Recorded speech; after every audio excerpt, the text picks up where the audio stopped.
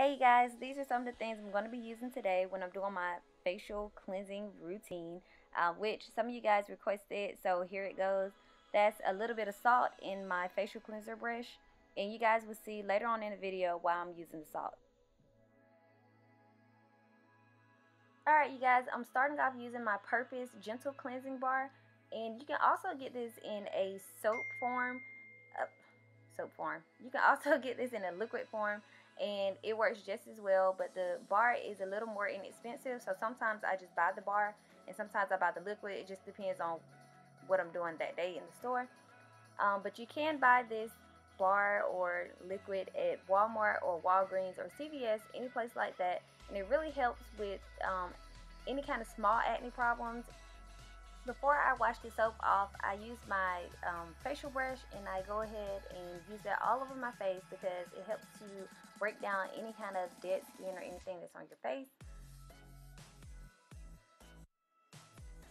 Before I get farther in this video, if you are new to my channel, please go ahead and hit that red button. It is always free.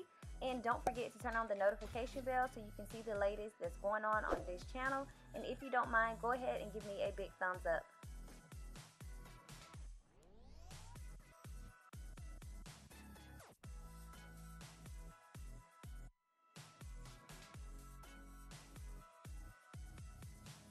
Now I'm just changing the head to the massaging beads and I like to do this also with the soap on my face and just go all over my face and it just feels really really good.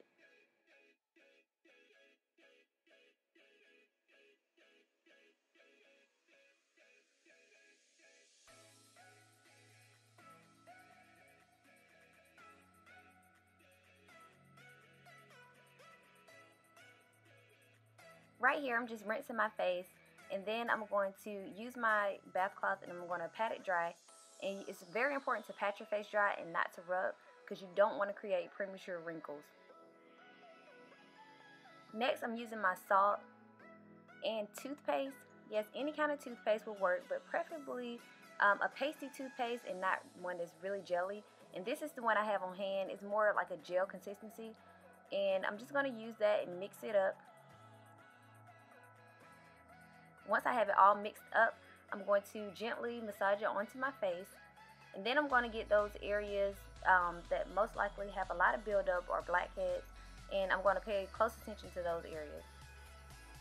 Once I'm finished, I'm rinsing my face. And my last rinse will always be a cold rinse to close my pores. And then I'm going to pat my face dry and only my eyes dry because once I put my moisturizer on, I want it to soak into my skin and I do that on wet skin. That's the best way to get it absorb into the skin. And once I finish my moisturizer, I will pat my face completely dry.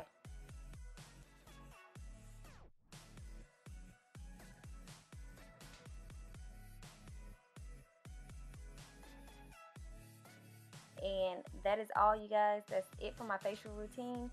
And I hope you guys enjoyed this video and I will see you in the next video.